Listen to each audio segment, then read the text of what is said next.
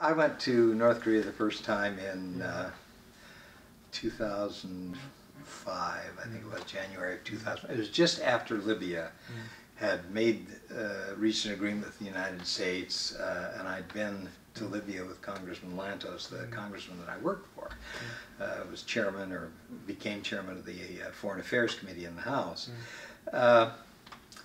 Uh, basically Lantos tried to get the message across to the North, North Koreans when he was there hmm. that Libya had made a good decision, hmm. that Libya had given up its nuclear weapons, those nuclear weapons had been hmm. removed from the country, the, the equipment and so forth, and that Libya was moving in a positive direction. Better relations with the United States, economic progress was improving and so forth. Um, I returned to North Korea five, six years later, uh, when the United States was considering the possibility of providing humanitarian aid.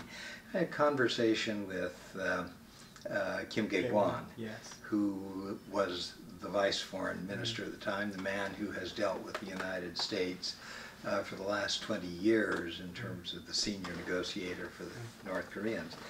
And uh, I told him that I had come with Congressman Lantos. He said, oh yes, I, I remember you being there. Uh, and he said, immediately, Congressman Lantos came to convince us to follow the Libyan model.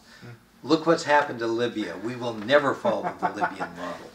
And I think that uh, sort of this idea that you give North Korea an ultimatum, if you want to improve relations, you know, we'll come haul away, take away your nuclear equipment. Mm-hmm. I don't think that's going to work.